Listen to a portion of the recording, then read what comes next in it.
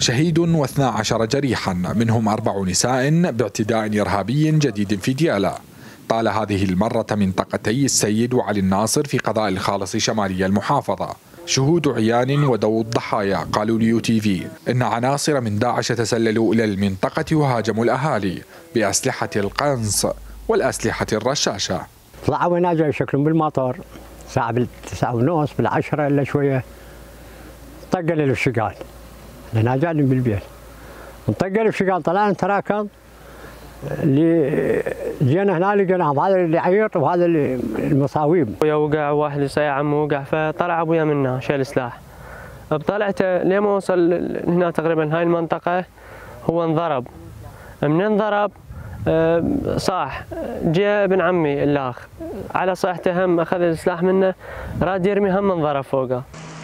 الاعتداء الإرهابي هو الثالث من نوعه في ديالا خلال أسابيع بعد حوادث متفرقة أبرزها في قرى شروين لكن المنطقة المستهدفة ليلة الأحد لم تشهد خروقات منذ عام 2007 لقربها من مركز المدينة. فيما يعزو مسؤولون أسباب الحادث إلى وجود ثغرات أمنية تسمح بتسلل الإرهابيين من ضفاف نهر ديالا. إلى مناطق مختلفة. اكو طرق توصل إلى إلى ضفاف نهر ديالة على حيث في هذه المنطقة يتواجد التنظيم منذ فترة طويلة ولم يتم القضاء عليه خصوصا من تبدأ من منطقة العبارة ومنطقة المخيسة وهذه المناطق إلى آه، بزايد شروين، نريد عمليات أن تكون هذه العمليات جدية مبنية على معلومات استخباريه دقيقة.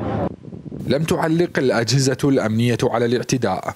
وسط مطالبات بإجراءات أمنية معززة بكاميرات حرارية وأجهزة تقنية تحد من الأعمال الإرهابية وتسهم بالسيطرة على الأمن وخاصة في ظل اعتماد عناصر داعش على أسلوب الكر والفر واستخدامهم أسلحة متطورة مجهزة ونواظير ليلية وفقا لمصادر استخبارية.